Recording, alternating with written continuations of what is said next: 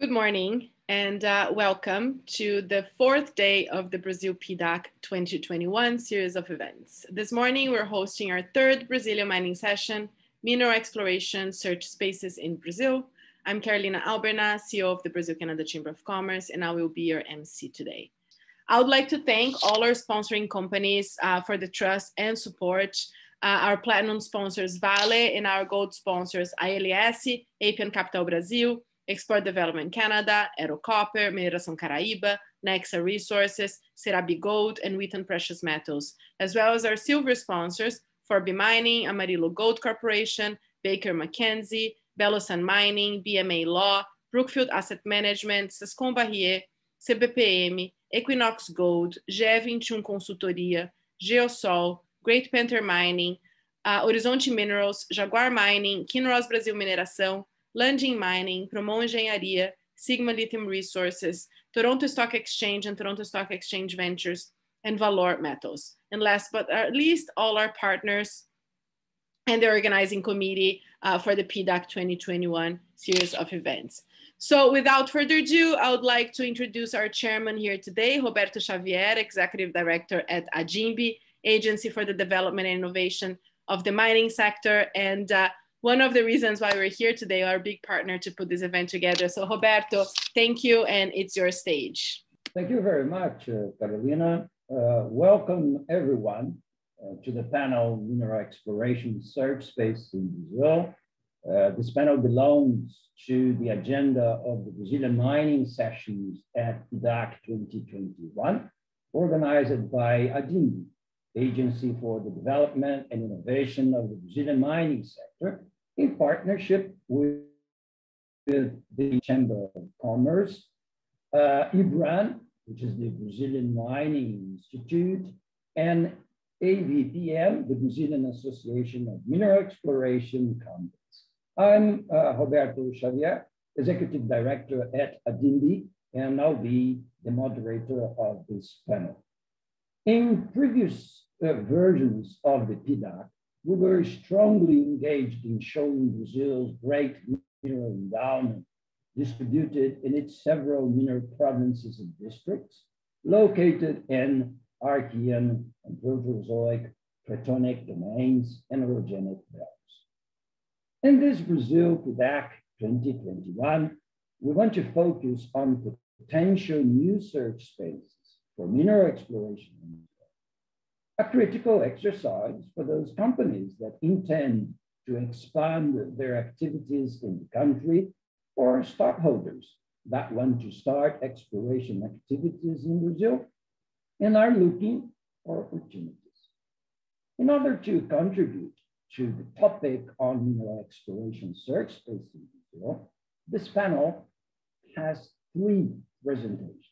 One provides a general view on the mineral potential and new perspectives for exploration in Brazil, which is going to be delivered by Dr. Anderson Dourado Rodrigues da Silva of the Geology Survey of Brazil. The other two presentations will be focused respectively on gold exploration in Brazil, new frontiers and challenges, uh, which is going to be presented by Professor Lydia Lobato of the Federal University of Minas Gerais, and on mafic, ultramafic related nickel, copper, cobalt, platinum group elements, vanadium and titanium deposits in Brazil, uh, which is going to be delivered by Professor Cesar Ferreira of the University of Brasília. So, with no further ado, at least for the moment, let's put the show on the road and invite to this stage Dr. Anderson Rodrigues da Silva for our first presentation. Anderson, please.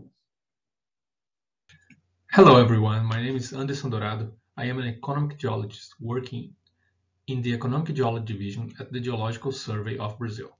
Today, I will present you an overview of the Brazilian mineral potential and some initiatives of the Geological Survey of Brazil focused on increasing knowledge about known and underexplored areas in this talk called Mineral Potential and New Perspectives for Exploration in Brazil. The outlines of these presentations this presentation are to give you some information about the Geological Survey of Brazil, the Brazilian mining production, the diversity of geological setting and mineral systems, the mineral province and districts, the major production areas in Brazil, emerging areas, underexplored regions, and the recent 10 years last discoveries, CPRM's major assessment projects, the PPI program and public offering of areas, and some closing remarks. The Geological Survey of Brazil is linked to the Secretary of Geology, Mining and Mineral Transformation of the Ministry of Mines and Energy. As a technical body, the CPRM performs the functions of generating and promoting geoscientific knowledge in the national territory, while the National Mining Agency ANM is the sector regulatory agency. Is the sector's regulatory agency. We are about 576 researchers that include 130 with PhD and 364 with master degrees working in four areas of expertise geology, mineral resources, geological hazards, surface, and groundwater. This specialized team work in offices in most of the Brazilian states and operates all over the country.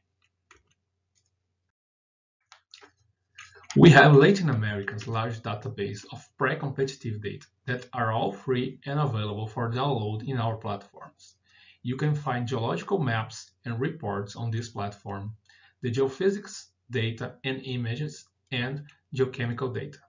Currently, CPRM has done major projects in all Brazilian mineral provinces, and until 2030, will finish survey in most of these areas with particular attention to the potential to particular attention to the Amazon area. You can download these maps and look for the information about geological maps and all this in the QR codes here. On these two websites, you also can search for all the information generated by the CPRM over the years, geological maps and all kinds of data. In this one, the GeoSGB, and in the RIGeo, you can find our reports and our scientific production. The Brazilian mining production.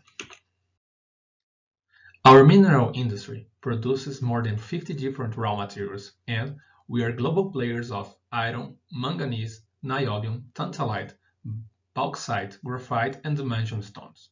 We are also major exporters of nickel, tin, gold, magnesite, and kaolin. The mineral sector has a crucial importance in the Brazilian economy, with a revenue of the industry being about 200 billion reais in 2020, and the production reached over a billion tons of, of ore. Investments are predicted in 38 US billion dollars between 2020 and 2024. The sector is, responsible for 17% of the Brazilian exports and contributes to the national trade balance with 32 US billion dollars. Brazil is a reliable and stable supplier for several critical minerals, highlighting niobium, for which we hold more than 90% of the reserves and production in the world, and deposits of manganese, graphite, and tantalum. We also have small productions of wolframium, vanadium, and titanium. We expect in the next years to produce rare earth elements, lithium, and cobalt in projects that are already in advanced exploration phases. There is an under, underexplored potential for metals like germanium that are usually found together with minerals that we already exploited in Brazil, and they can be exploited as co-products, and we have the right technology to do so. We also consider critical for the country substance such phosphate and potash that is related to the production of fertilizers, as Brazil is a major food exporter, and we are extremely dependent on the import of these products. Uranium is also an strategic, strategic for the country and is currently a state monopoly. Actually, Brazil has the only active uranium mine in South America. Brazil has a territory of continental proportions, one of the world's largest countries, with a very diverse geological setting and mineral system. Almost 50% of the country includes Phanerozoic sedimentary basins, with deposits of phosphorus, potash, coal, and uranium. Precambrian shields cover the other half, including greenstone belts, magmatic arcs, orogenic belts, continental rifts, Silicic large igneous provinces, mafic and ultramafic magmatism, Archean and Proterozoic sedimentary basins, and intraplate granites in these areas. These environments hold many types of mineral systems, responsible for the mineralization of base metals, precious metals, special metals, and critical minerals. All this diversity of geological settings and mineral systems is, is reflected in many mineral provinces and mineral districts. Brazil has about 20 mining active districts and several areas where exploration is emerging, especially in the Amazon region where, in recent years, many deposits were found. The major production areas in Brazil. The Carajás Mineral Province is one of the most important mineral production areas in Brazil and in the world. This province has a large and diverse number of mineral deposits related to the several mineral systems that acted at different times in Earth's history. These mineral systems include supergenic, paleoproterozoic IOCG and granite related with copper, gold, tin, bismuth, and others, Paleoproterozoic orogenic gold deposits, the possibility of this kind of deposits, Paleoproterozoic sedimentary with manganese, Archean IOCG, Archean sedimentary exhalative deposits, Archean mafic and ultramafic, and Archean orogenic deposits. Despite the importance of the province, there are still available and promising areas for mineral exploration. These areas will be disclosed by ANM in, in public offering rounds during this year. Along with Carajás, the Iron Quadrangle is another of the most important Brazilian mineral provinces. The importance of the gold production associated with greenstone belt sequences goes back to colonial times. Currently, the region remains a significant producer of gold and iron ore associated with a diversity of mineral systems that includes Neoproterozoic orogenic gold and AGP deposits, Paleoproterozoic orogenic gold deposits, Paleoproterozoic chemical exhalative iron and manganese deposits, Paleoproterozoic paleoplacers with potential for gold and uranium, and Archean orogenic gold deposits. CPRM is carrying out several geological mapping and mineral resource assessment projects in the region in order to support the mineral and exploration industry in this area. There are still available opportunities in these hot exploration areas, with many available areas that ANM will disclose in the, in the recent year. One of the Brazilian Geological Survey initiatives in the Iron Quadrangle is the recently published favorability map for gold in the QF area. This product uses the integration of, of, evidence maps that are related to the source of fluids, structures for the migration of them, geological traps, and mechanisms of deposition in a knowledge-driven approach for orogenic gold deposits associated with the Houston, oh, sorry, with the Rio das Velhas greenstone belt. The high potential for gold goes beyond the known deposits, with the identification of areas with high favorability, like this one in the west part of the map. You can download this map using this QR code here. The north part of the Brasília belt has a diversity of geological settings that includes Neoproterozoic magmatic arcs with copper and gold porphyry deposits, Meso to Neoproterozoic sedimentary basins, with base metal deposits and orogenic gold deposits, and Archean greenstone belts with important gold deposits. There are still available opportunities in this portion of the Brasília belt, with many available areas that ANM ANM will disclose this year in the public offering rounds. So now we are going to talk about emerging areas in Brazil. The southern part of the Amazon Craton is one of the most promising exploration areas in Brazil, especially in the Tapajós Mineral Province and the Alta Floresta Mineral Province. In, this, in these two areas occurs gold mineralizations associated with volcanoplutonic units with Paleo to Mesoproterozoic ages in a magmatic, magmatic hydrothermal systems. Historical gold production estimated for these two areas are in 780 tons of gold. Uh, there is also potential for gold in these two districts, Juma and Nova Brasilândia, an important lead and zinc Broken Hill type deposit in Nova Brasilândia district. There are still available areas for exploration in this region that will be disclosed by ANM in upcoming offering rounds. In recent years, the Geological Survey completed new geological maps of the Tapajós Mineral Province and started initiatives regarding the mineral potential and the evolution of the deposits in the province. In the upcoming public offering by the national mining agents, there are important areas that are still available. These two polygons represent areas where CPRM are producing new favorability maps. These our two examples of favorability maps in the Tocantinzinho trend, in, in the eastern part of the trend and in the western part of the trend.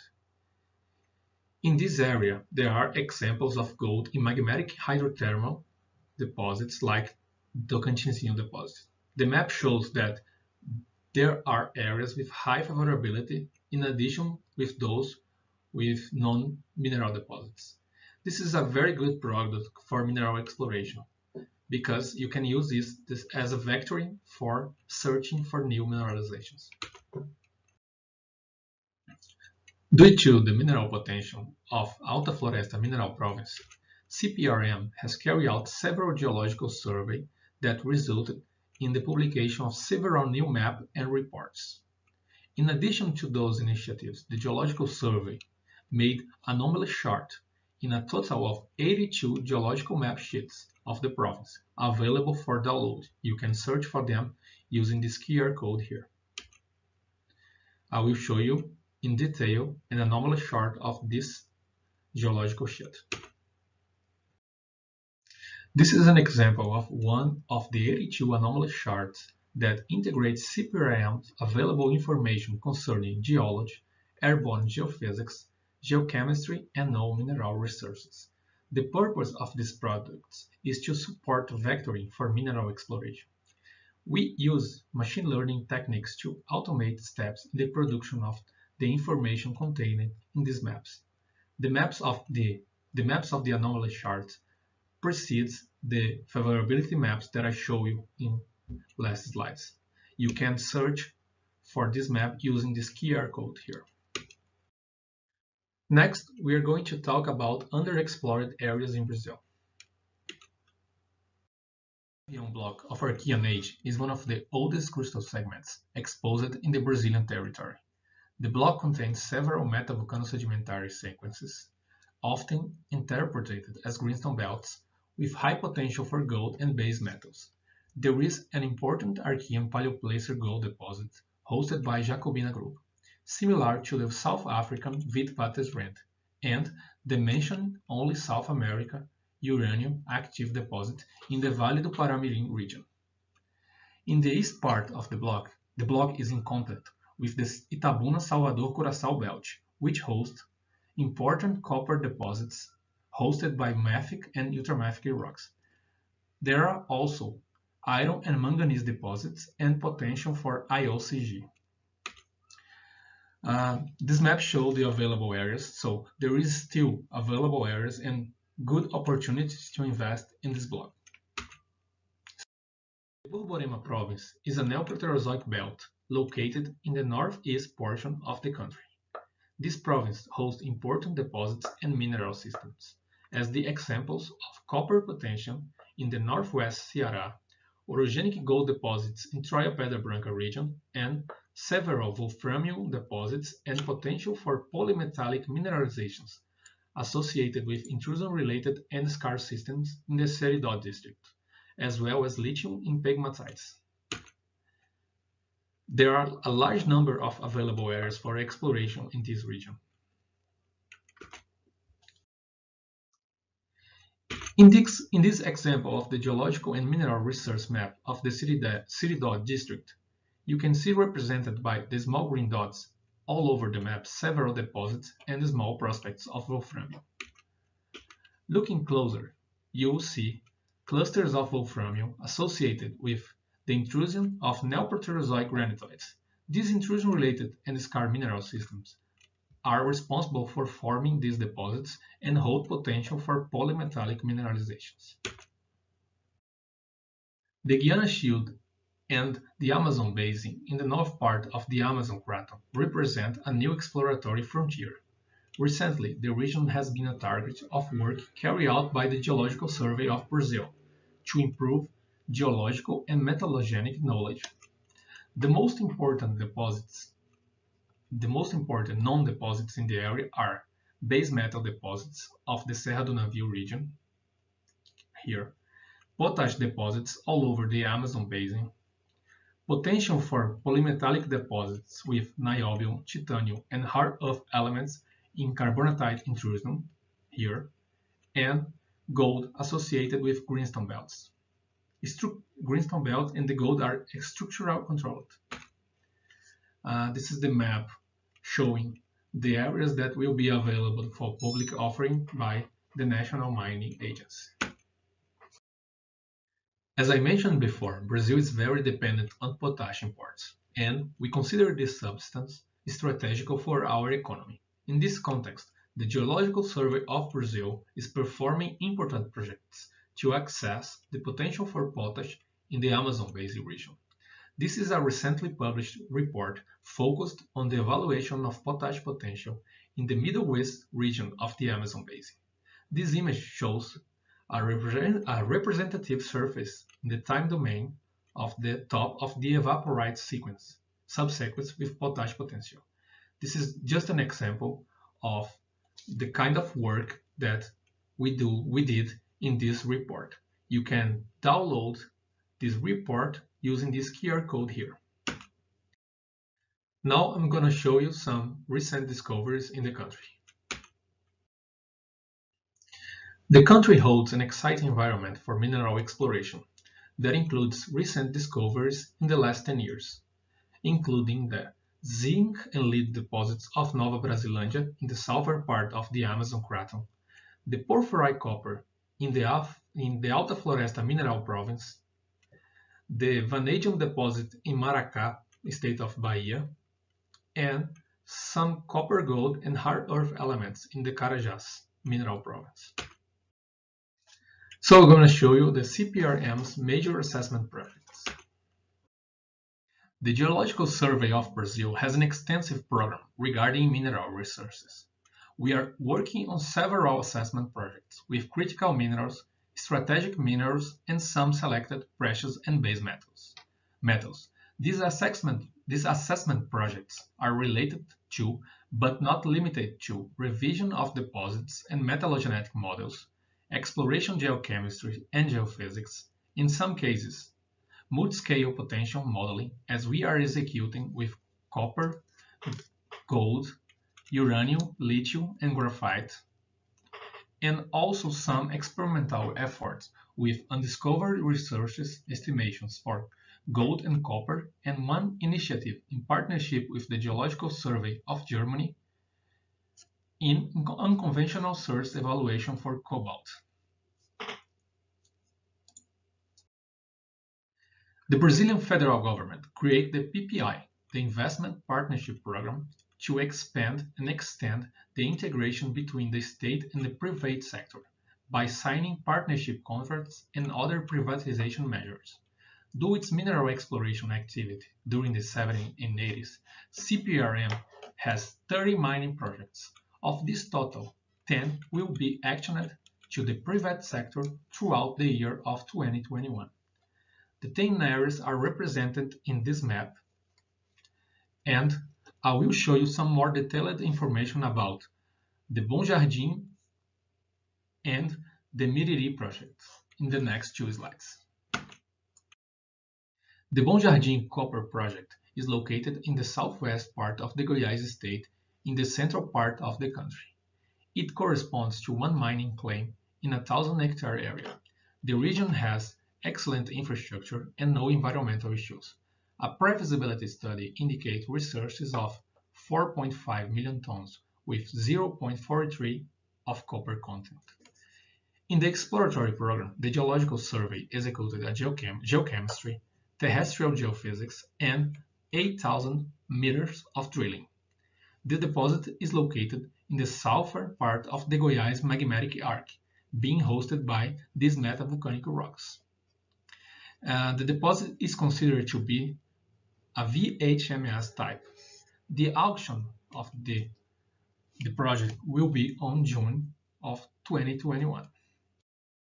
The Miriri Phosphate project is located in the states of Pernambuco and Paraíba, corresponds to seven mining claims in an area with approximately 6,000 hectares.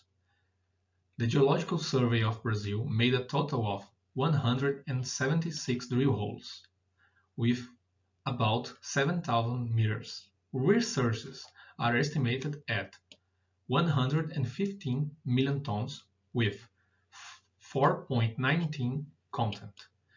The project development considers two different scenarios mining process from, from, for direct application on agriculture and implementation of concentrate phosphate process.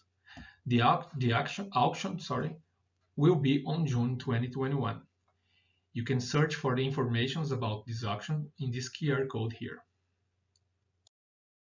A public offering of areas by the national mining agents in the next two years. The National Mining Agency, ANM, will realize a public offering of available areas in eight, seven offering rounds.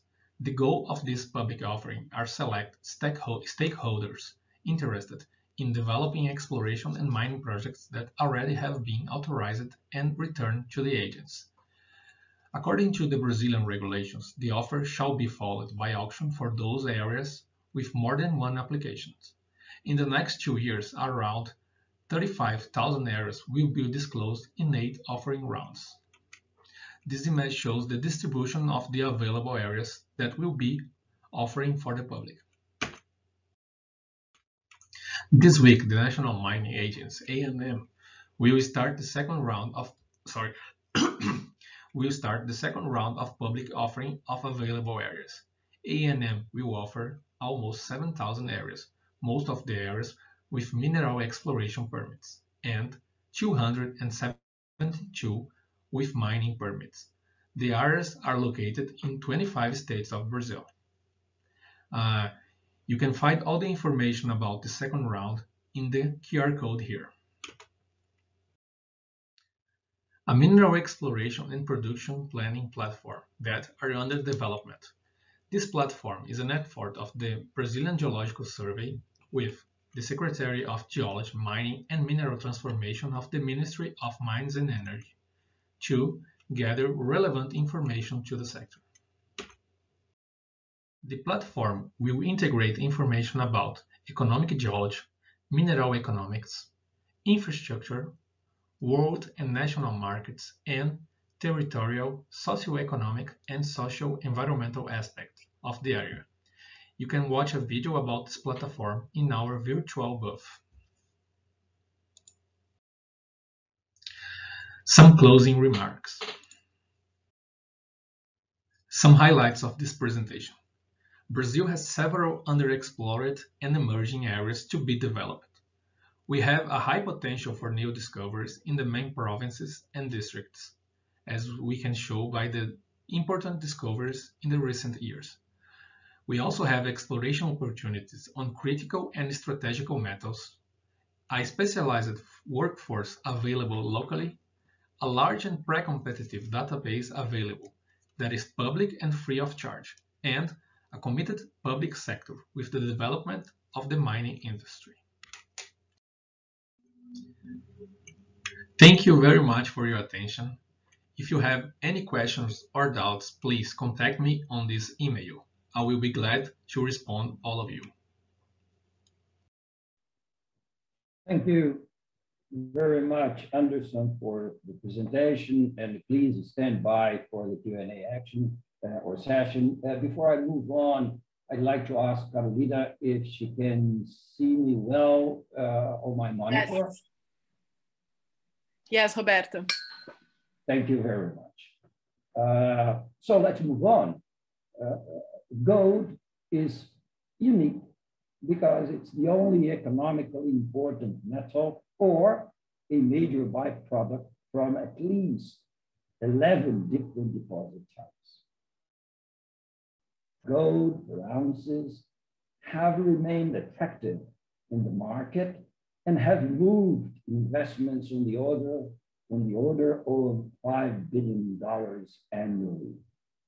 Investments in the exploration of metal commodities in Latin America, uh, Latin America, what we call LATAM, uh, uh, have been significant when compared to other regions in the world.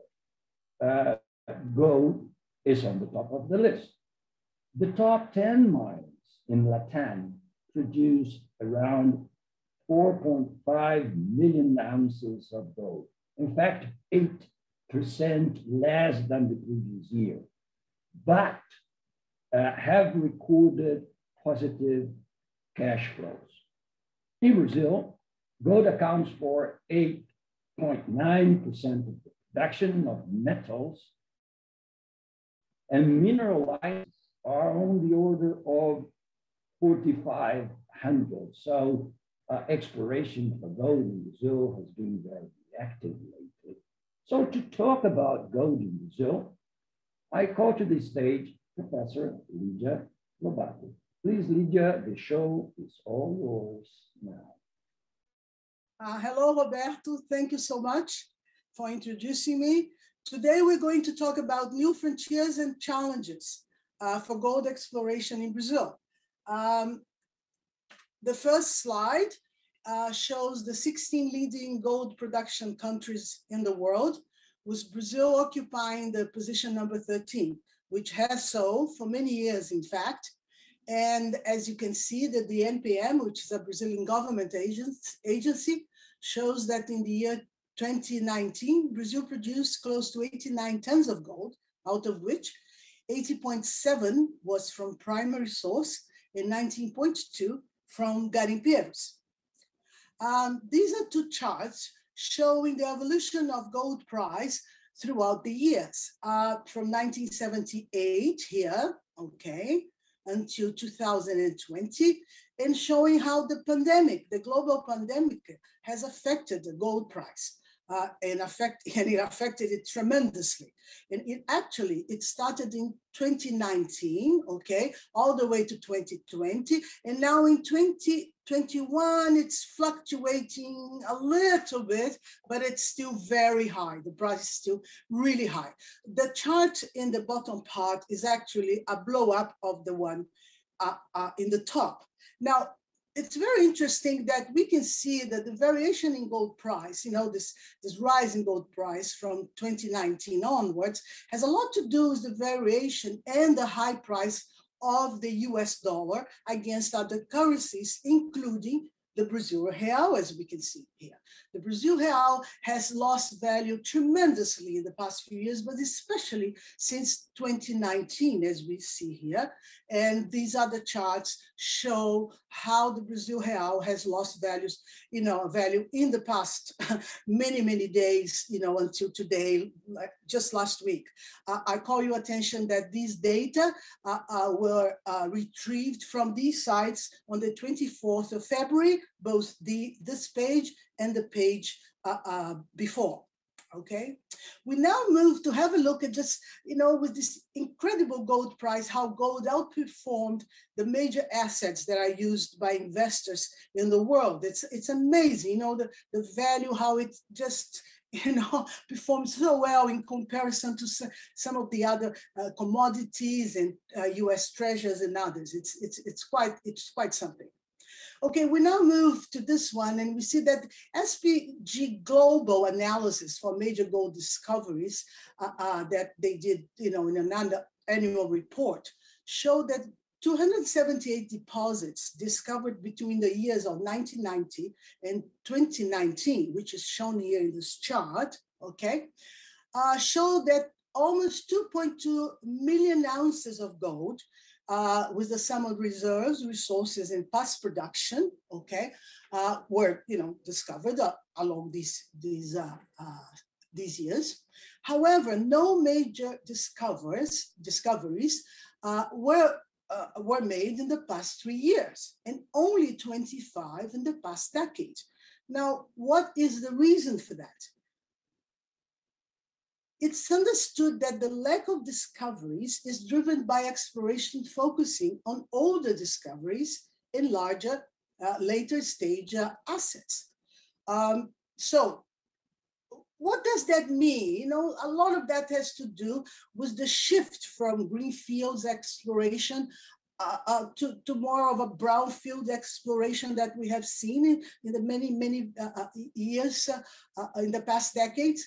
Of course, there are still plenty of gold assets out there to be developed, but the lack of major discovered deposits represents that the projects you know, the, the pipeline of gold that is necessary to replace aging major gold, gold mines is not coming out there. So these major gold, gold mines, uh, you know, don't have the replenished gold that they need. Although this is a world scenario, this is a very similar scenario that we see in Brazil.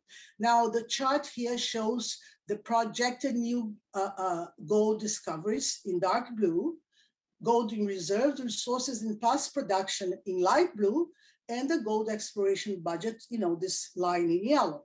We see that same figure in the next slide, now with the top figure, which is the US per ounce uh, uh, expenditure here, showing that there's a very rough coincidence between the uh, expenditure budget expenditure and the price of gold, showing that when we spend more, also the gold uh, price goes up.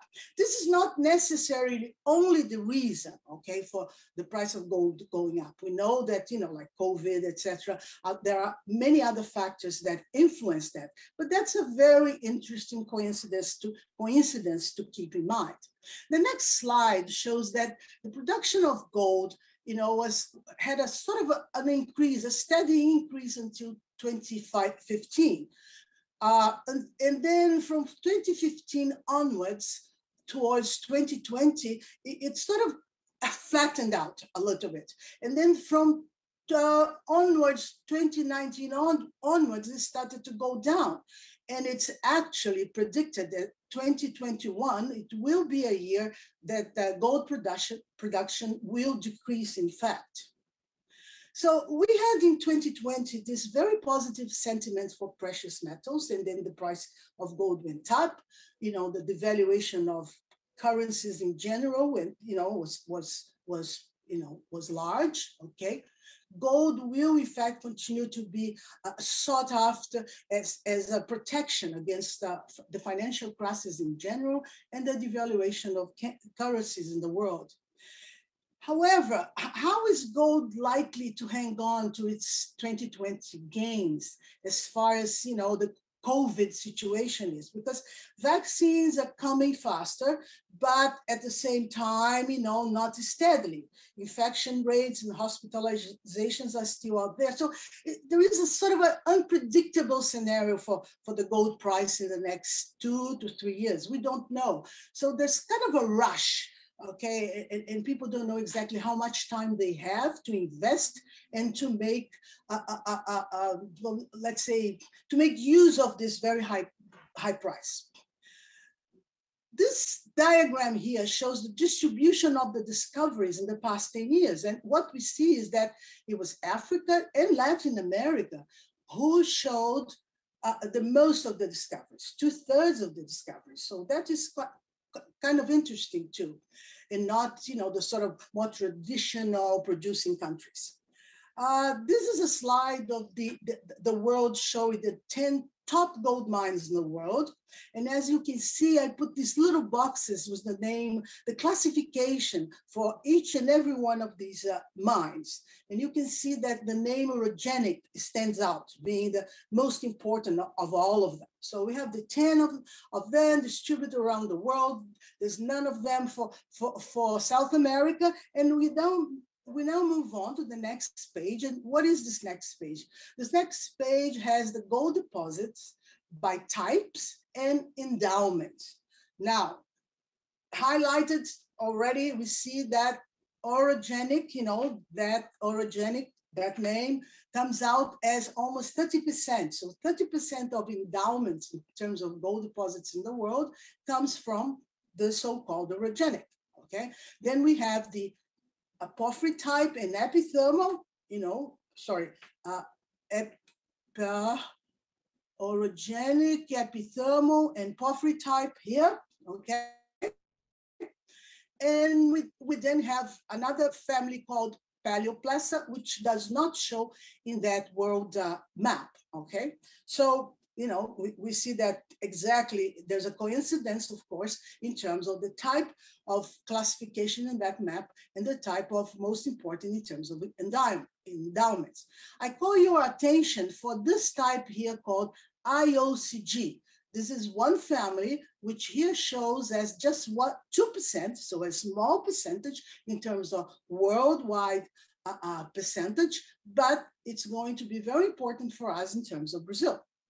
We now move to Brazil. So what is the Brazilian scenario? This is a map of Brazil showing the most important districts and deposits of Brazil that have a, a equal amount of 0.1 million ounces or more than that of gold in deposits and districts. Very well.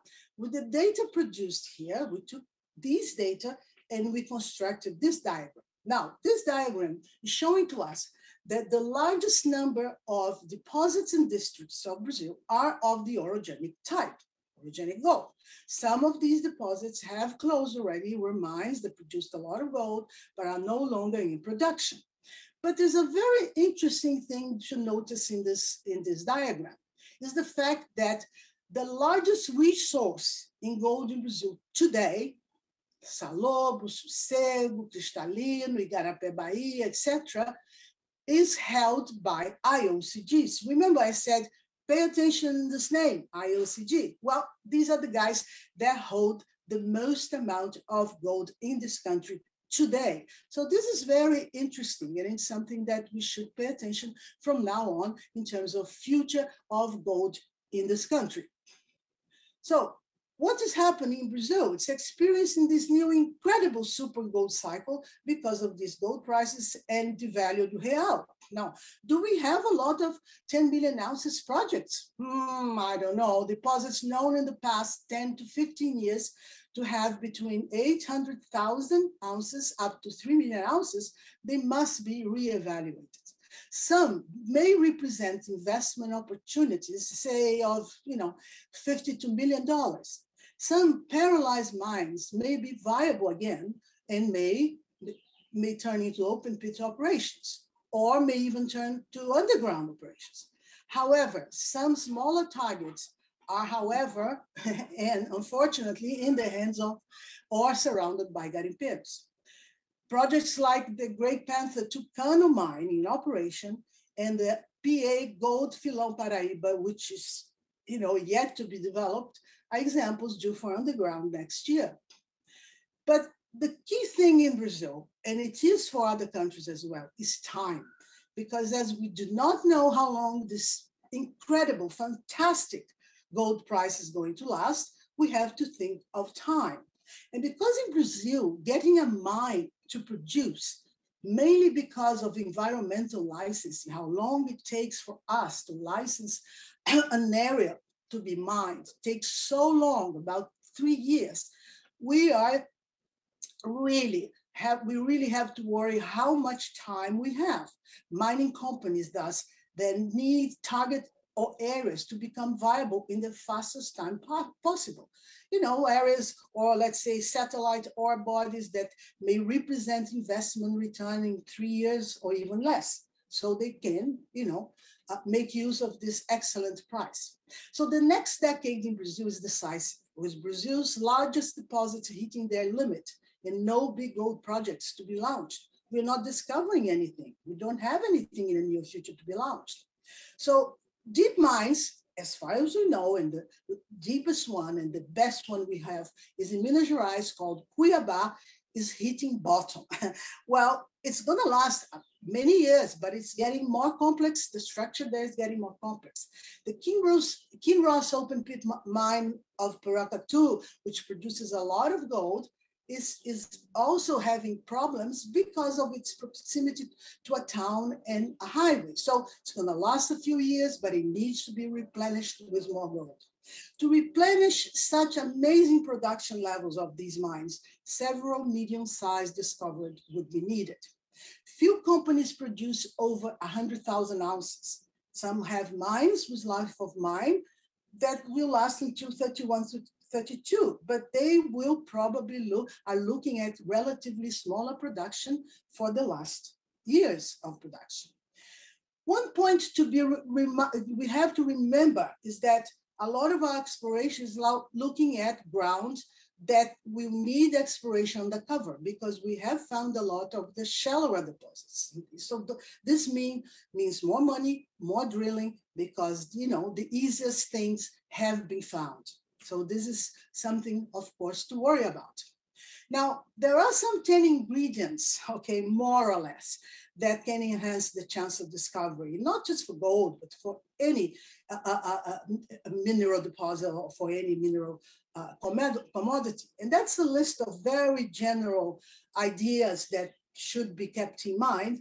And then comes a, a list of, you know, things that should be uh, always, you know, take us to, to, to, to, to as a geologist, as, as, as engineers, you know, remember that we are deeply, we are deeper in terms of mining, we have to change our exploration models, we have to train people, etc., etc. So these are factors that every day in our everyday exploration uh, uh strategies is, is very important for us. So Brazil's long-standing gold exploration values and issues. Brazil has always uh, uh, uh, done a lot of exploration in Precambrian metasedimentary belts, and most of our deposits are of orogenic type, as I said, which are in metasedimentary belts.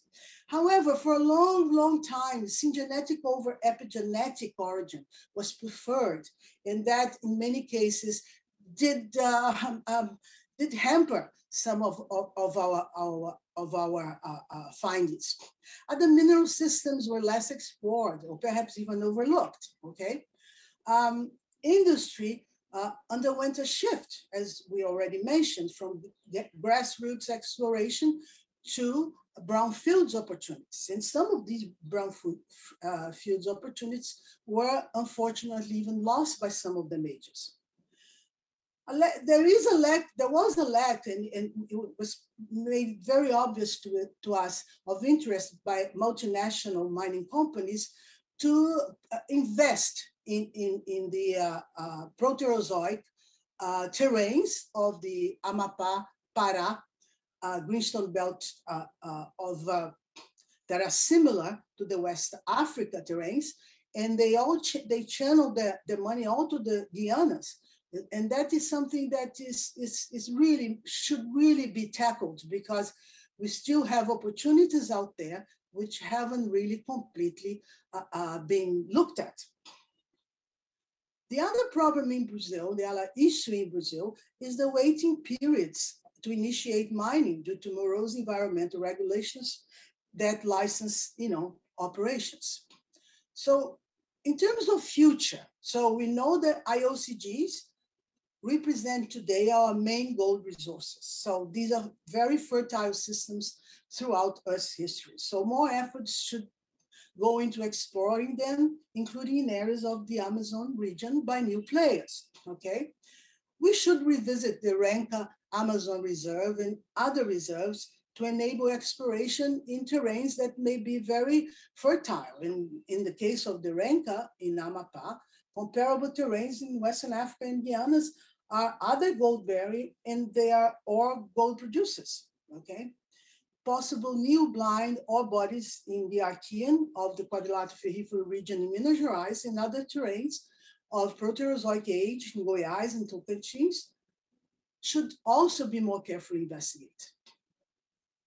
Some of the magmatic hydrothermal systems of the Juruena and Tapajós province, magmatic hydrothermal systems which in the past were not looked into with a lot of care, may yet reveal large world-class deposits. Finally, new Finally, new technological approaches, such as machine learning in all large data projects, must be introduced, you know, finally at last in all uh, uh, uh, uh, projects of, of exploration in, in gold.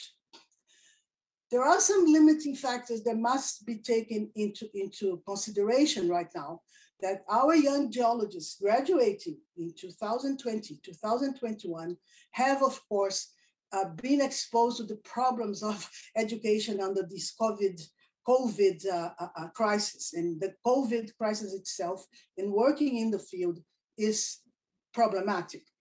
So we now move on to the last slide, which is good news. Uh, Brazil is, uh, uh, has this first step of tenements offer in early March. The Brazilian Mining Agency of around 2,000 areas. So this is good news because we hope you know, this is going to help uh, give opportunity for exploration with, uh, you know, companies and private, uh, uh, uh, uh you know, people even uh, bidding for these areas in some of you know important parts of the country. You can see that a lot of these areas are in very important areas of Brazil, in the northeast, in central Brazil, etc. So we are very hopeful that this is going to you know be a boost for the exploration uh, uh, uh area of this country. Okay, so. Um,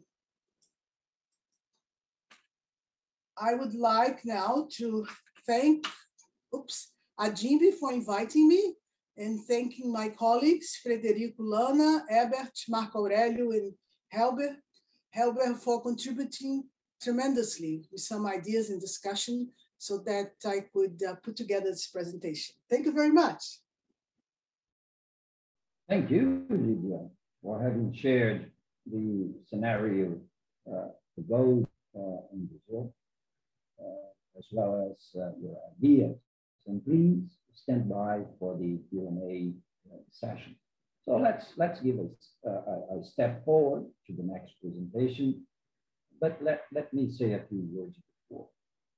Uh, the future may be cloudy for a range of commodities, but it's becoming bright for those metals linked to the emerging green energy industry.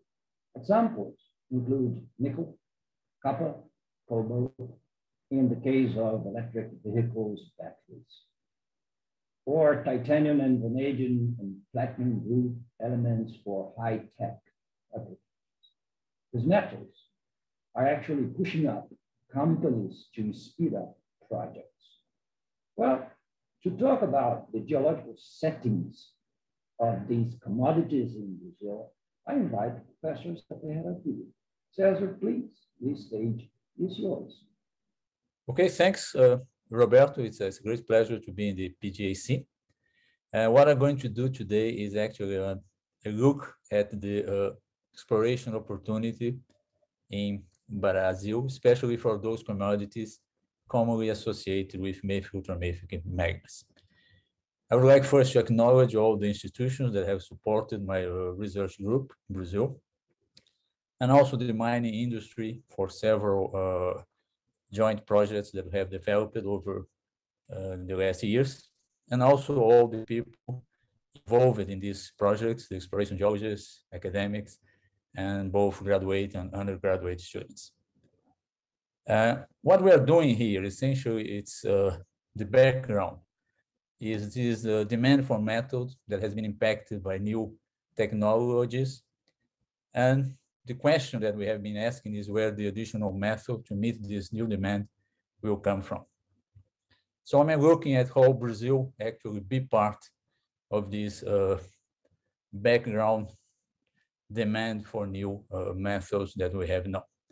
So what I'm going to do is first an overview of the uh, resources of those commodities commonly associated with mafic ultramafic magmas.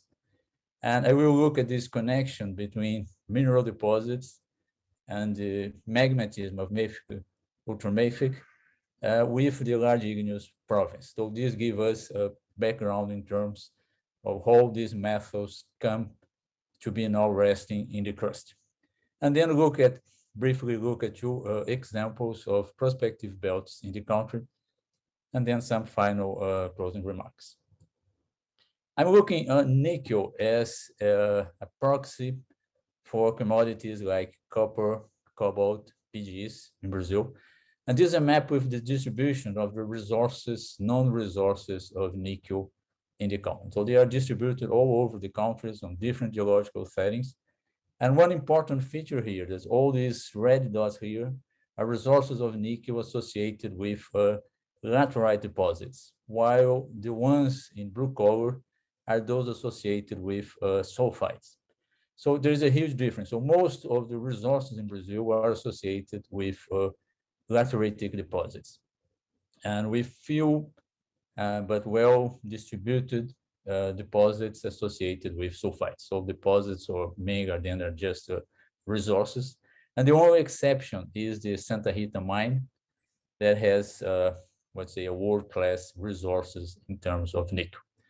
I also point out there's two uh, unconventional uh, nickel deposits or nickel resources and the Jaguar and the GT34 in Carajás. And those are different, though they are not the conventional deposits of nickel, they are associated, they are uh, related with hydrothermal process. The question that has haunted us through the years is if there is any reason for the lack of significant nickel copper PG sulfide deposits in Brazil. Uh, the conventional answer to these questions, these countries essentially underexplored. So this was an easy answer 20 years ago. It's not so easy right now because exploration programs have been carried out throughout the country in the last 20 years. So there is this led to several new discoveries of resources associated with nickel uh, sulfides. So, uh, what happened now is that if we're looking for new opportunities, so we need actually to take in account the exploration that has been done in the past. Nevertheless, there are several underexplored prospective belts in the country. So just to show you uh, where the production of Brazil in terms of nickel is coming is coming from. So this is a uh, data for 2015. And 2015, that's over the years. 2015, it was the record um, production of nickel in the country, close to 100 uh, kilotons of nickel. And this also shows there is most of the production of nickel is associated with uh, nickel laterite deposits and just a few associated with uh, nickel sulfide. So currently, if we go to 2020 now, so most of the production is being sustained by uh, Anglo American and Vale, Anglo American with the deposits in Goiás State and Vale with deposits in Carajás. And now Mirabela, that has been shut down a few years ago, now is being resumed now with Atlantic nickel. If you look at titanium and vanadium, especially vanadium, there is one uh, large world-class deposit in the Maracás that is a very exceptionally good deposit in terms of reserves, in terms of the content of vanadium and has a sustained production now about 12 kilotons of uh, V2O5. Uh, additional resources also occur in the Campo Alegre de Lourdes. There's a quite large with smaller uh, contents, and also several additional resources of uh, iron, titanium, vanadium in the country. briefly, if we think about all these methods, they come to, to be in the crust now. So they are related to most of those methods. They have been transferred from the mantle to the crust. And this is considered now as happening through mantle plumes that have created large igneous province. So regions with, with a lot of mafic ultramafic magma has come to the crust in a relatively short time. So I'm using here a diagram by Richard Ernst in 2019. And this created a framework, framework to uh, locate and try to understand how these uh, deposits have been formed. So large igneous province, so uh, regions with a large amount of mafic ultramafic magmas in the crust. So they are the source of the commodities like nickel, copper, cobalt, PG, titanium, vanadium, and chromium. And as indicated by examples like Norilsk, Bushveld, and several other ones. So this is primary uh, deposits. They are also uh, the source in terms of uh, the host rocks for uh, the uh, deposits, so through the weathering of these ultramafic rocks. And one additional thing that's not usually considered that the, uh, the large igneous province, they also provide uh, energy and source for hydrothermal process. So we also may link some of the hydrothermal deposits, and I'm really thinking here about the hydrothermal nickel deposits in Carajás as part of this large igneous province. When you look to the uh, distribution of nickel PG deposits through time, now we, we know that they have happening from the Archean to recent times, and they are, tend to be concentrated on specific specific periods of time. So these specific periods of time, they correlated with well-known uh, large igneous province. So the only exception is Sudbury that uh, impact melt, but all of the conventional deposits they tend to be correlated with large igneous province.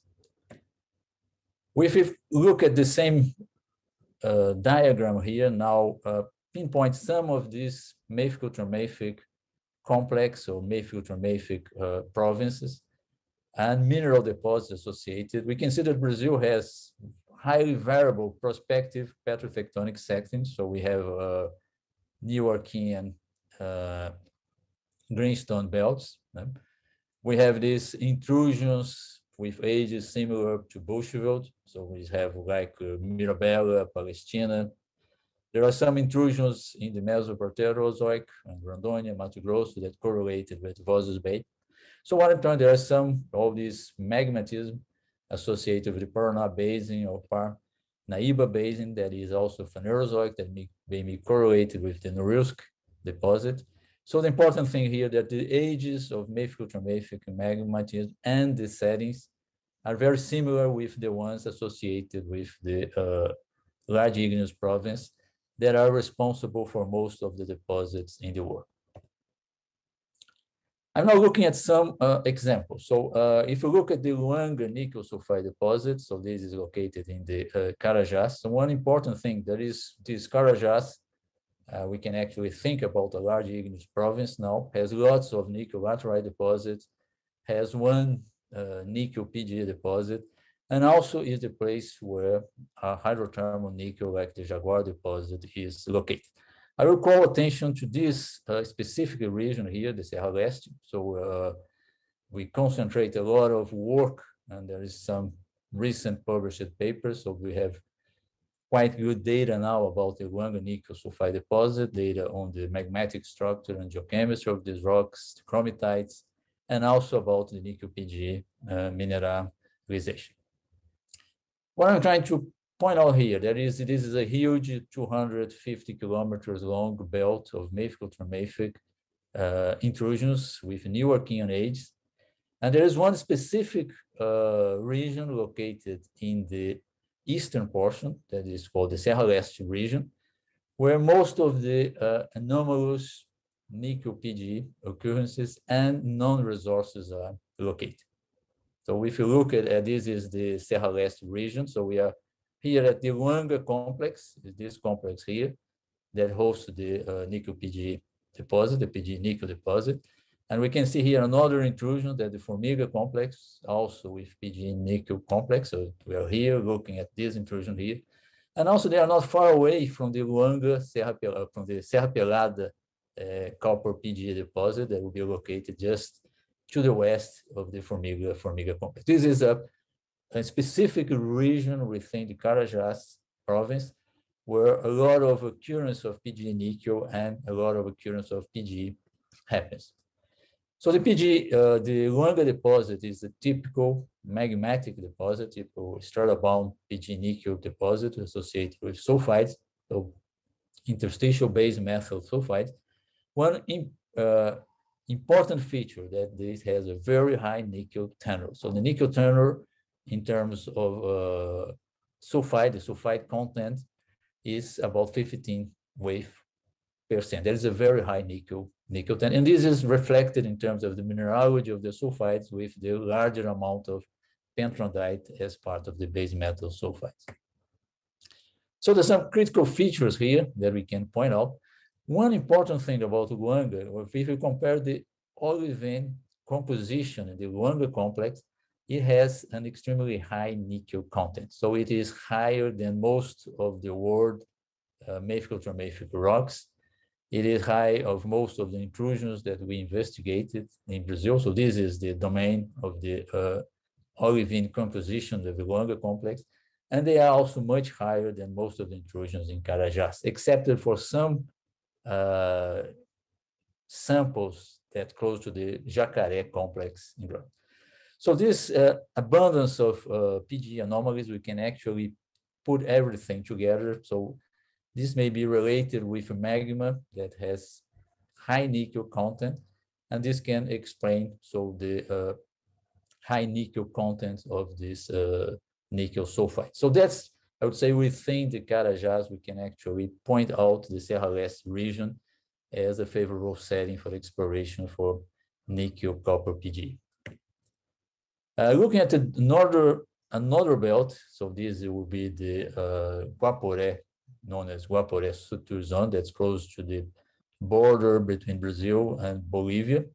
So this Suture Zone, we have uh, recently published a paper with a new geological concept. I think this is an important, important feature. Uh, and this is also located in the northwestern margin of the Amazon, Amazon craton.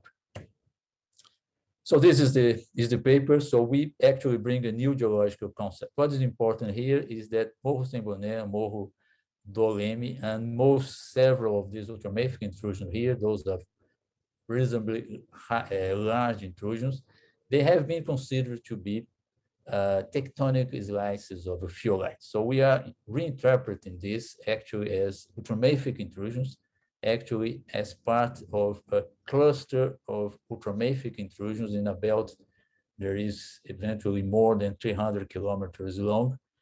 And this provide uh, very prospective setting. So this is one region. Uh, we, if we look at some of the of the features here, uh, one region in one region. So with a lot of these uh, olivine and chromite rich mafic ultramafic intrusions. So it's a very large belt. So we consider it as a large igneous province too.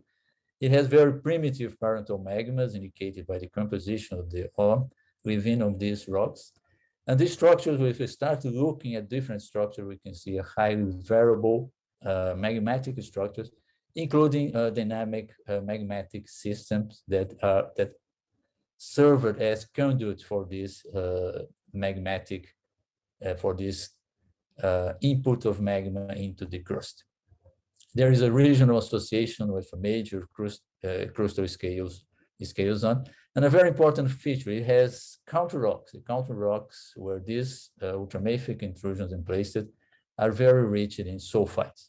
So we have evidence for uh, uh, simulation of country rocks, both uh, uh, textures and structures and also lithogeochemical features. So, and also the nickel copper sulfide, they have been recognized in different uh, intrusions and with different styles of different styles of nickel sulfide mineral mineralization.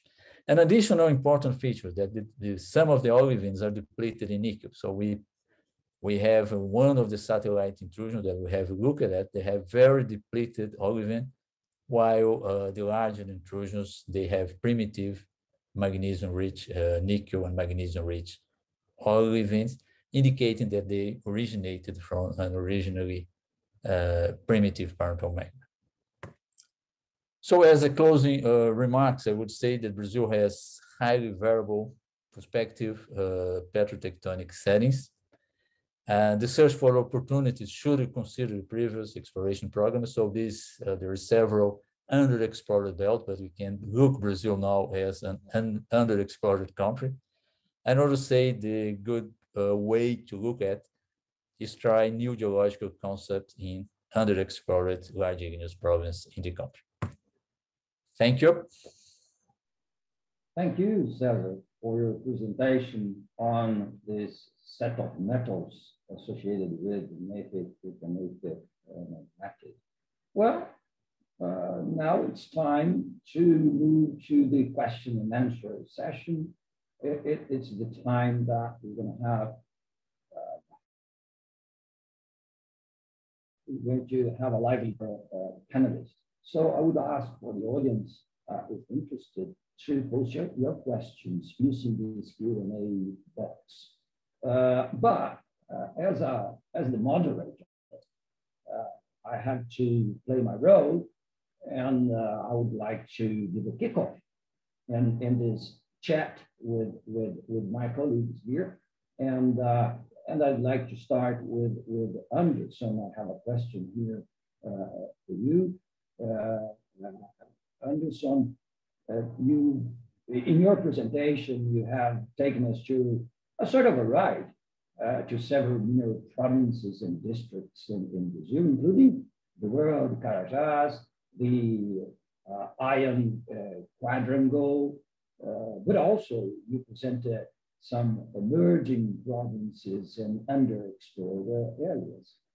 Well, one of the, the main roles uh, uh, of the Geological Survey of Brazil, CPRM, uh, is to enhance the geological knowledge of provinces and districts, particularly at the regional scale, which as a, as a consequence, as a result, may contribute to a more efficient assessment of new grounds for mineral exploration. So from this standpoint, Anderson, what is the survey's strategic plan for the Brazilian mineral province and districts for the next two years? Sorry for the long question.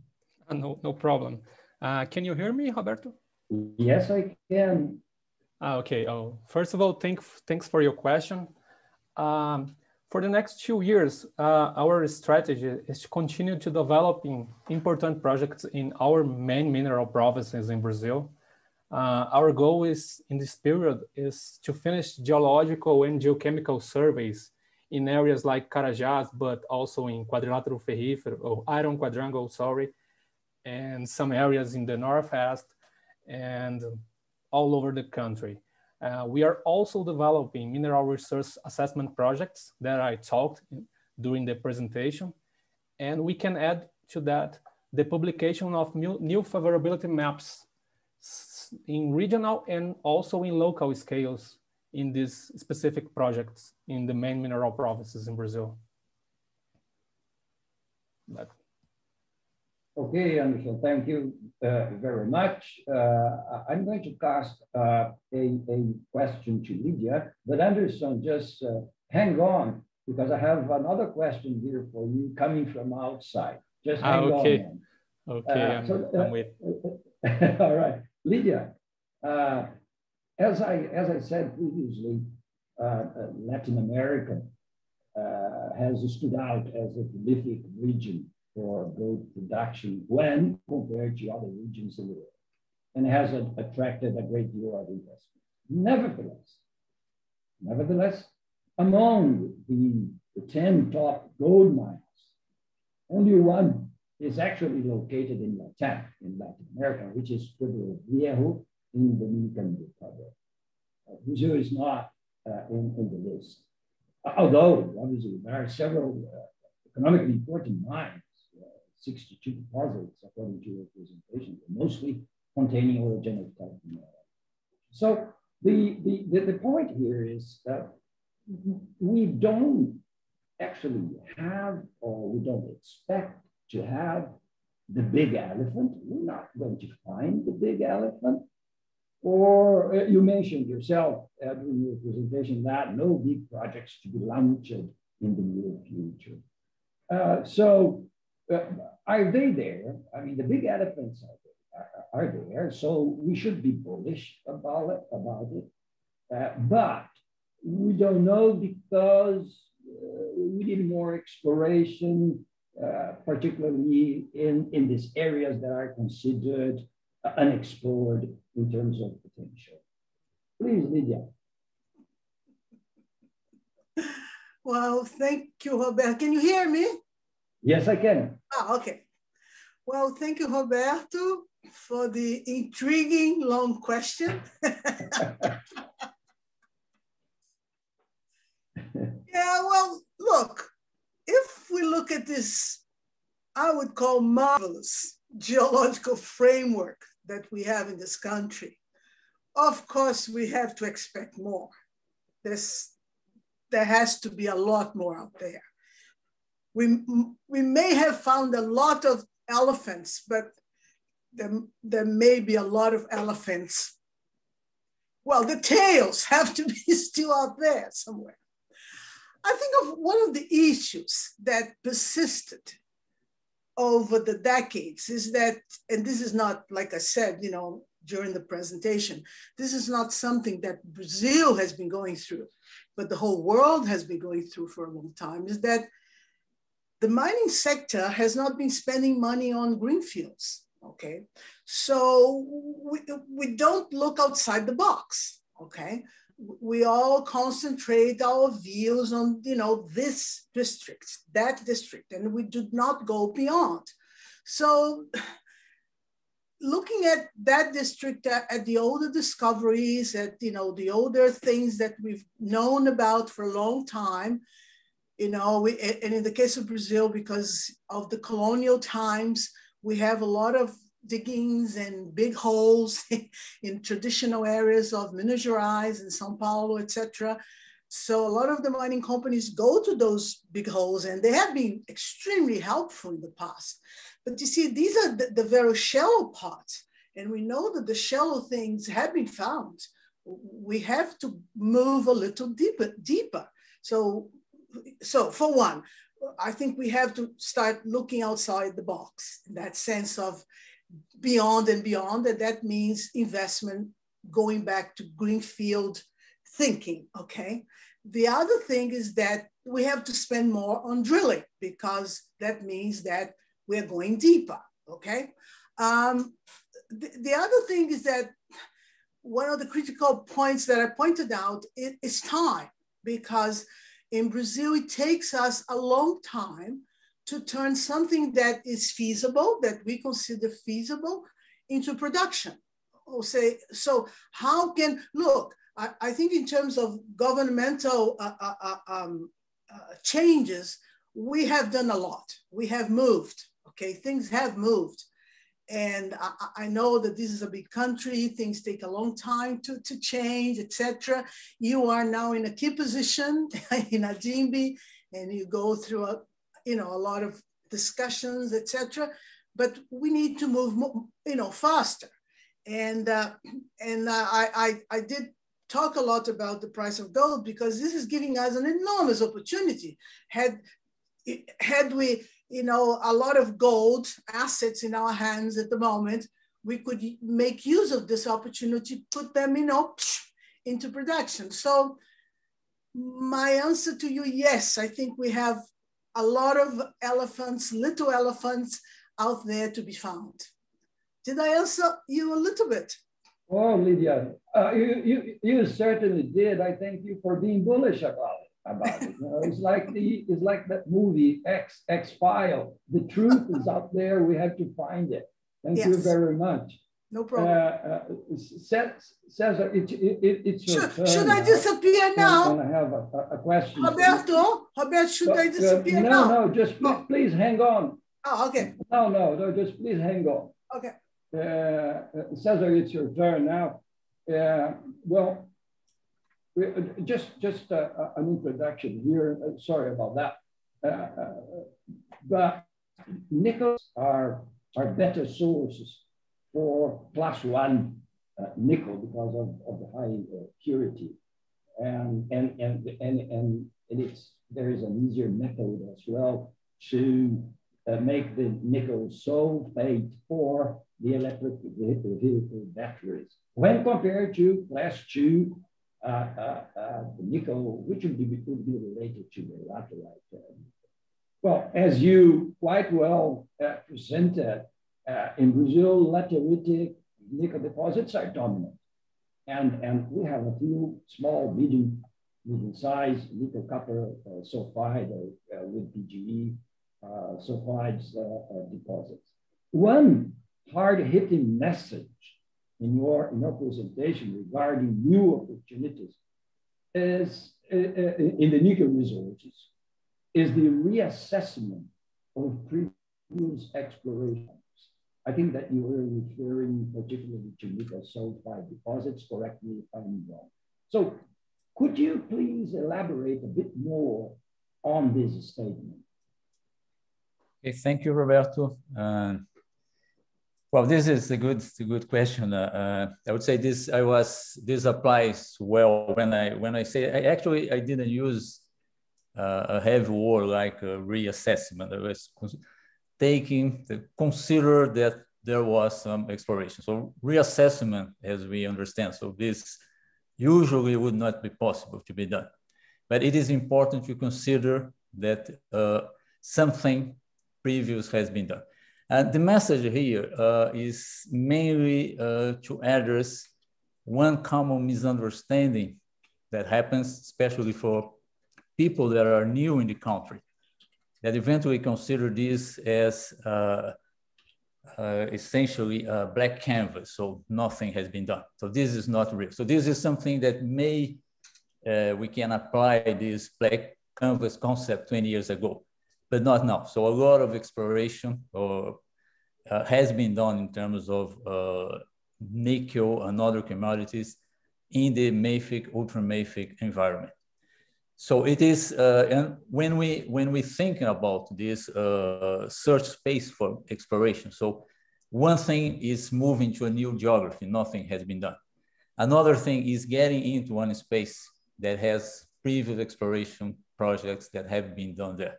So this is essentially the message that I have. So it's don't think that you are getting into uh, uh, uh, let's say a new geography where nothing has been done before. So we are actually moving into uh, environments that may have very diverse amount of exploration in them.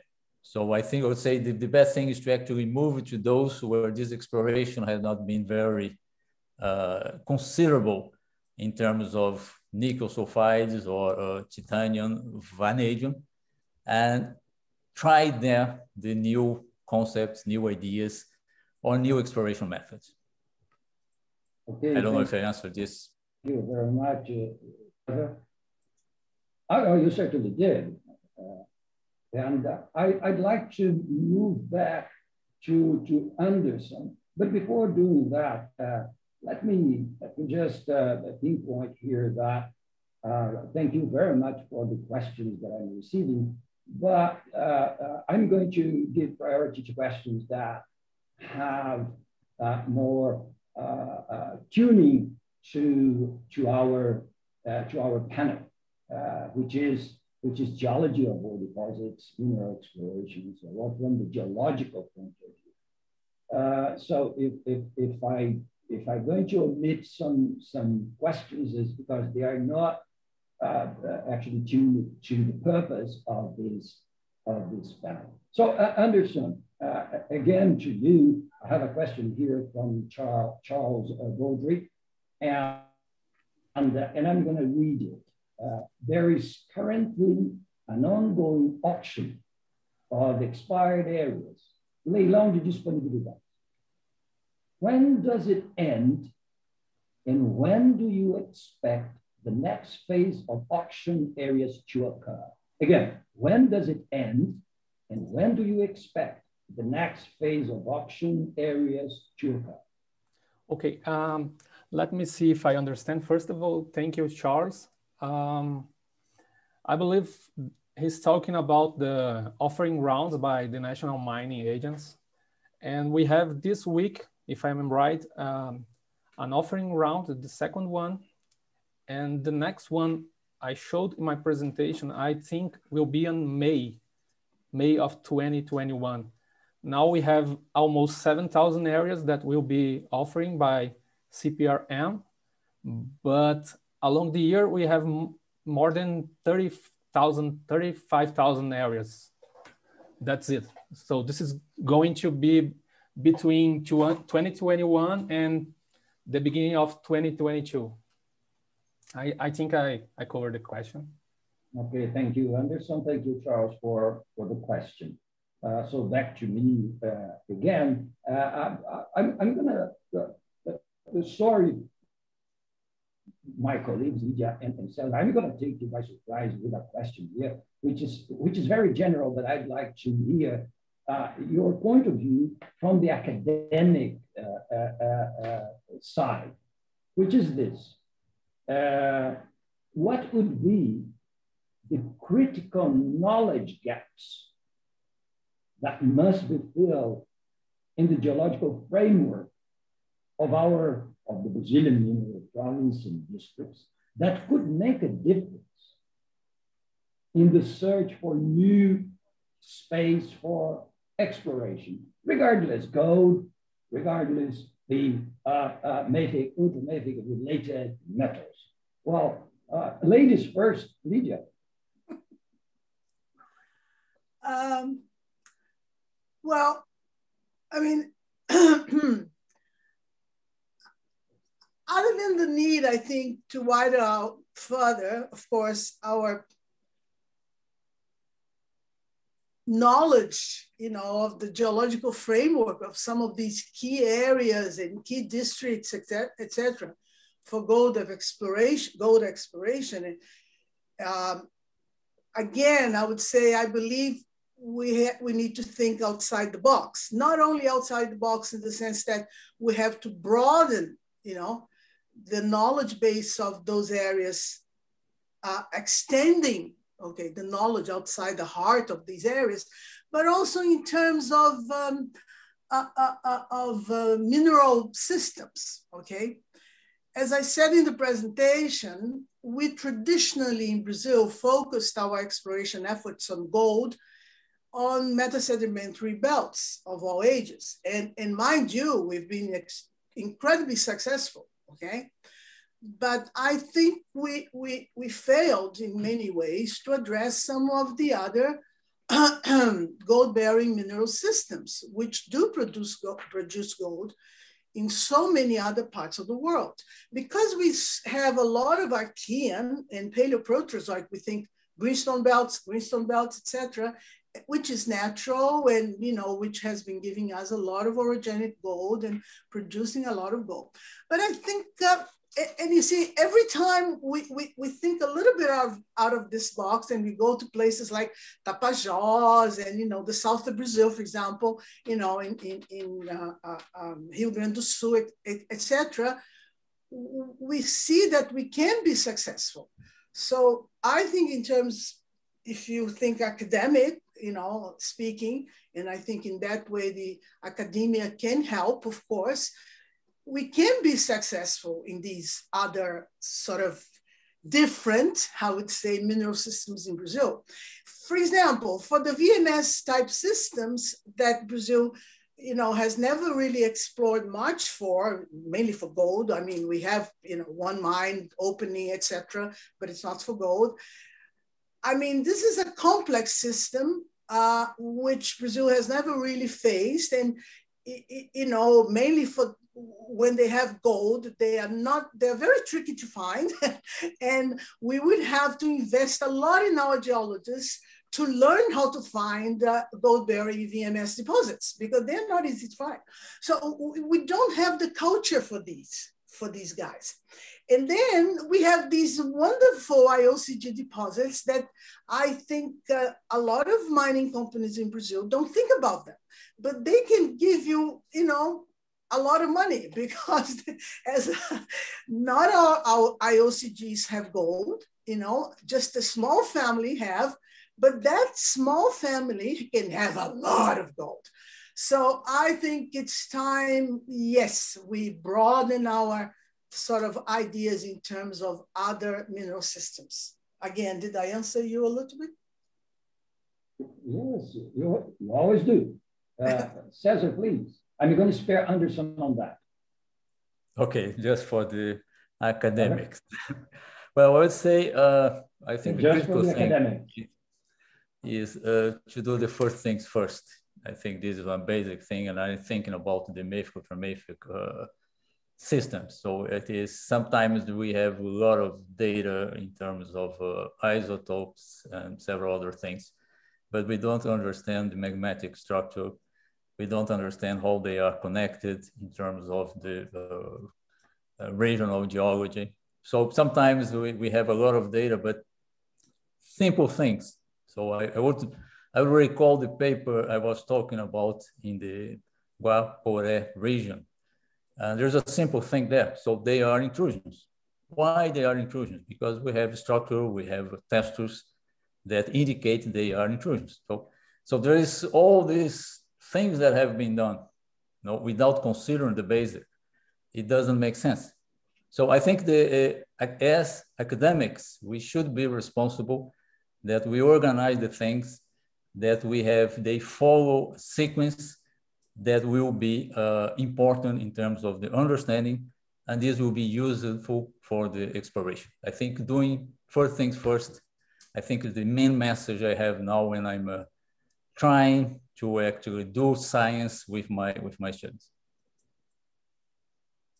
Yeah, thank you, Cesar. If, if, if you allow me to give my own opinion about it, uh, uh Yes, in terms of mineral systems, you have to think of uh, different scales, uh, uh, uh, from the regional scale down to the scale of, of the deposit in order to understand the process. So in this context, uh, and, and following my, my question here, one of the, one of the stumbling blocks that we face in, in, in Brazil is, is studies uh, uh, that extend to the regional scale is to understand and correlate the mineralization, regardless gold or, or the mafic related metals to big events. Uh, uh, this, is, this is quite a stumbling block uh, nowadays in, in, in, in, the country. Most of the studies are very much concentrated at the district or deposit scale, but we do need you know, these regional scale studies. And in this sense, I think that the Geological Survey of Brazil, CPRM, has a, tremendous important uh, role uh, to actually fill this gap. Uh, but it's not a question for you yet, Anderson. the question that I have for you is this now. you've shown that the Geological Survey of Brazil has 30 mining projects that will be available to public offerings and biddings within this program called uh, Investment Partnership Program, the PPI.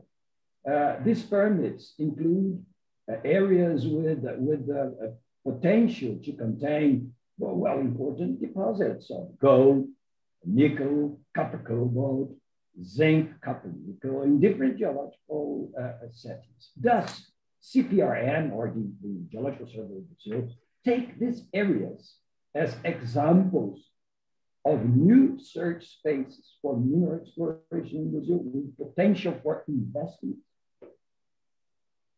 Uh, thank you for the question. Uh, yes, absolutely. Uh, we really expect that the auctions will promote more investments in these selected areas. Uh, I can give you an example of the projeto, the uh, Cobre, sorry, uh, the Bom Jardim projects. I was trying to remember. And this is a, an area that we have do, did recent works in the last 10, five years. And there is also potential for another kind of mineralization, such there is an example of a intrusion related gold system in the deposit of Fazenda Nova, also near to the Bon, the Jardim project. There is an example of nickel and copper deposits associated with mafic and ultramafic rocks of the Americano do Brasil deposit. And also because the, the, this project is in the context of the magmatic arc of, the, of Goiás in the southern part, there is also potential for uh, porphyry deposits as well as epithermal deposits. So when we have uh, the release of new auctions, uh, the starting of new mineralization projects, and all these potentials coming together with the survey that ge the geological survey has taken in this place, I think this is a very good area for investments for exploration. We have all of, all of this, new projects, potential for other types of deposits, and recent work by the Geological Survey and not only in this area, but also in another areas that will be action this year. I, think I, I, did you answer yes, me? you did. Because yes, some, yes, you did. sometimes the the sound was not that good for me, and I lost some right. parts it, of your it, question. It, it, yeah, it must be my accent, my Brazilian accent. uh, Sorry uh, about mine.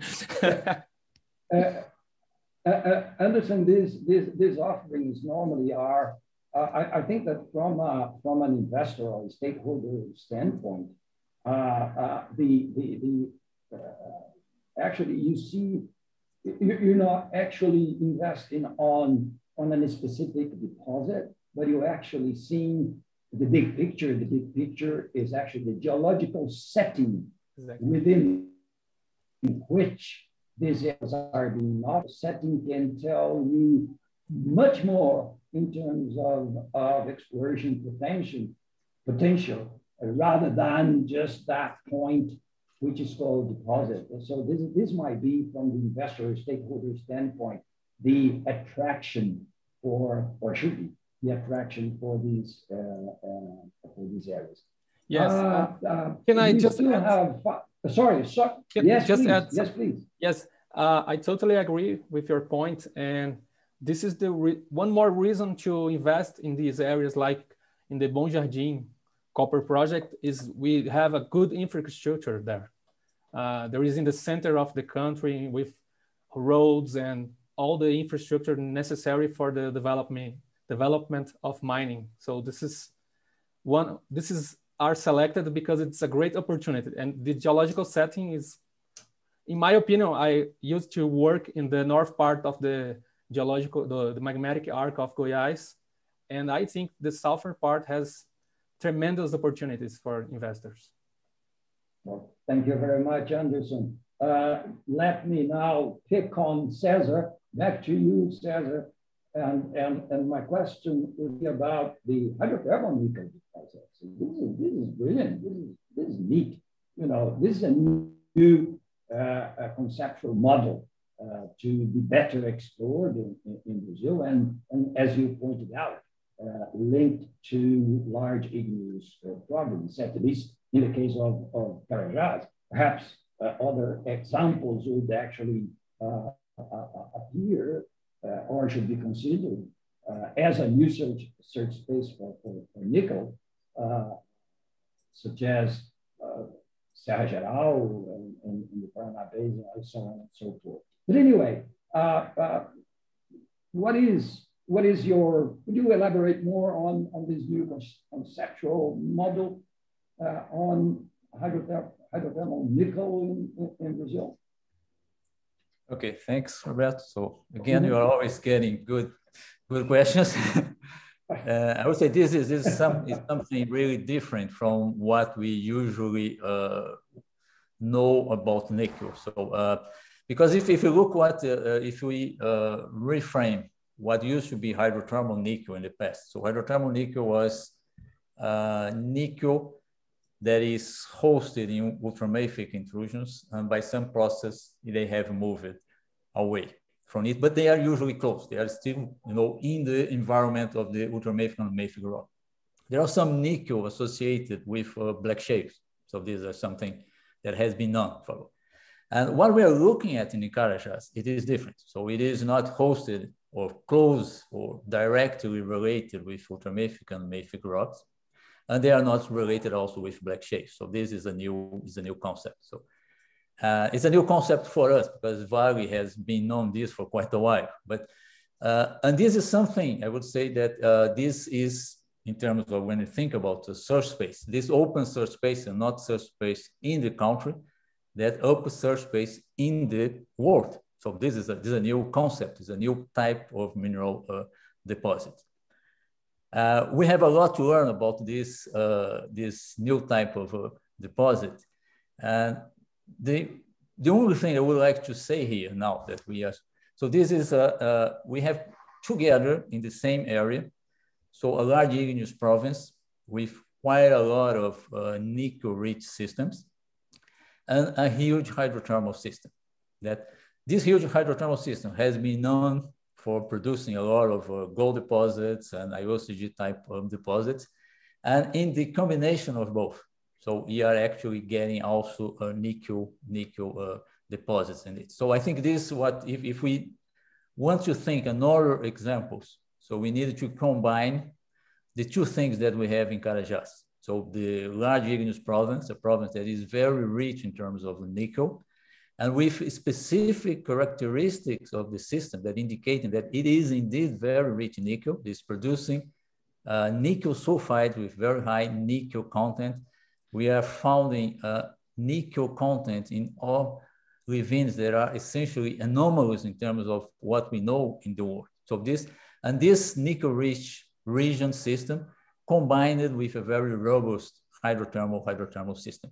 If you remember one of my slides, uh, the Jaguar deposit, it is mm-hmm. surrounded by nickel laterite deposit. There is almost no space to put the Jaguar deposit there.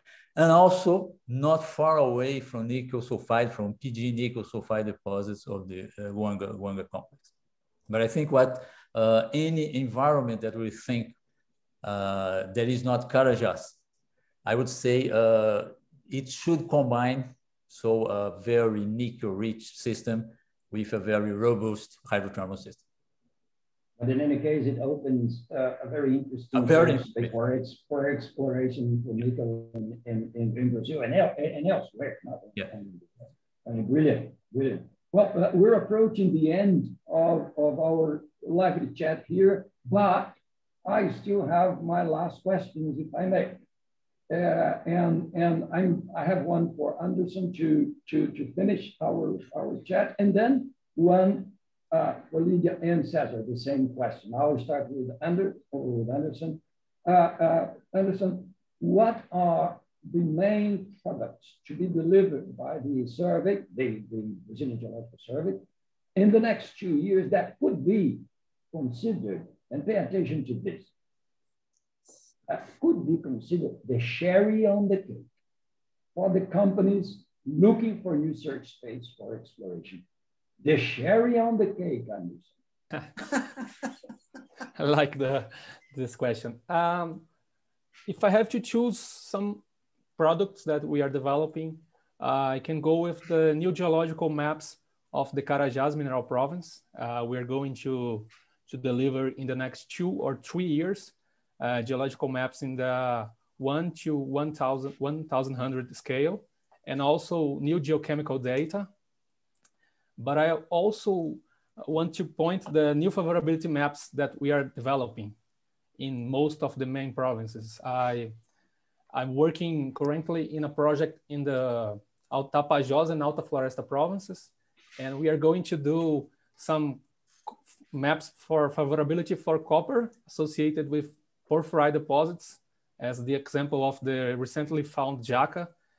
And I believe this is another game, this is a game changer in areas with uh, lack of geoscientific knowledge because they are going to help the companies to improve the investments and looking for the right areas with high potential.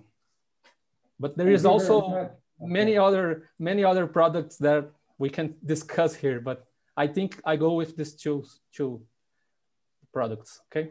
Well, th thank you very much for pinpointing the cherry on cake. I'll I'll leave you alone. Uh, let me just finish with Lydia and and and Cesar here with the following question.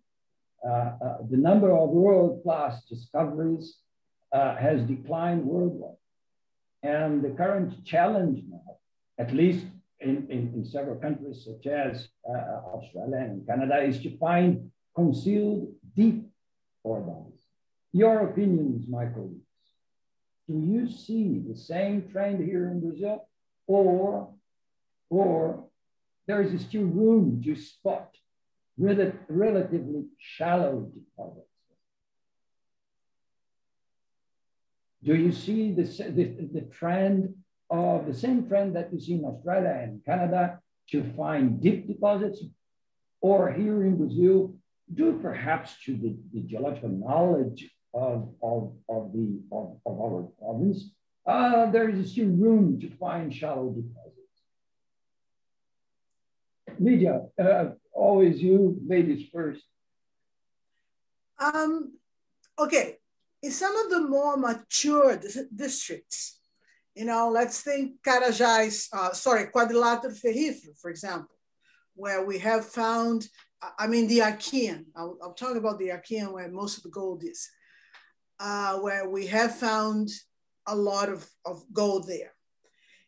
You see, one of the problems, again, you know, is, is, is model and, you know, culture, etc. Um, the, um, the metasedimentary belt there is more metasedimentary than metavolcanic sedimentary, okay? So for many years, I think we, we, we worked on that belt thinking that we had an Abitibi in our hands and we don't, okay? We have more of a superior type, yellowknife type, you know, greenstone belt than anything else. So because we didn't have that idea. We ended up putting a lot of effort, you know, in into any strategy into something that wasn't actually there. Okay. Of course, there's a lot of banded iron formation, and then everyone went to oh, let's put effort into banded iron formation. But in fact, what we do have there is a lot of turbidites. And turbidites produce a lot of gold in some parts of the world but people did not did not put effort in turbidites. So we, we sort of diverted our exploration efforts thinking that we had something that we actually didn't have. On the other hand, for so long, our syngeneticists convinced the mining companies that the, the ore there was syngenetic. So if you ask me, I still believe that there's some ore out there I wouldn't say shallow, shallow, but uh, that oh, has yeah, been yeah, overlooked. Yeah. yeah, because of, of wrong model, because of insisting on working on the Abitibi type that was not Abitibi type. You know what I mean? Well, that's one point. The other thing is that when you go to the outskirts of the quadrilateral, it's not quadrilateral anymore. It's people call it, you know, the great quadrilateral, whatever, to the north western portion that people are now calling the Pitangui Greenstone Belt that turns out to be a little older. And that is a lot more juvenile than the, the Rio das Velhas itself. And it has VMS type deposits there because it has a lot more mafic, ultramafic rocks. And it does have, have zinc. They start finding new deposits, okay, new targets. So people didn't go far enough. So I don't know, Roberto. I, I think we do have a ground that is not mature enough in Brazil to be able to say, yeah, perhaps we do. okay, thank you very much. okay.